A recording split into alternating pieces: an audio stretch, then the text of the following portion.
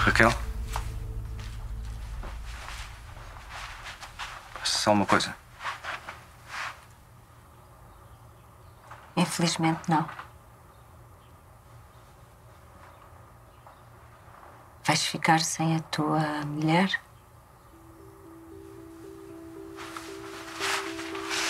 Raquel, eu não disse isso com este sentido. Eu ouvi perfeitamente.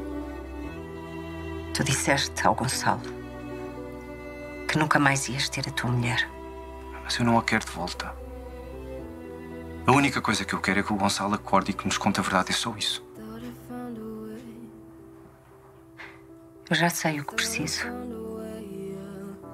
Eu já sei muito mais do que aquilo que eu precisava de saber. E a ti, o que é que te faz falta? Nós não podemos continuar com a cabeça enterrada na areia. Não percebo. Foi exatamente isso que fizemos nos últimos três anos. Tu em relação ao Gonçalo e eu em relação a ela. Marina, nós não quisemos ver aquilo que estava a acontecer à nossa frente. Não, desculpa, mas não. Eu estou a fazer uma coisa que eu nunca pensei fazer na minha vida.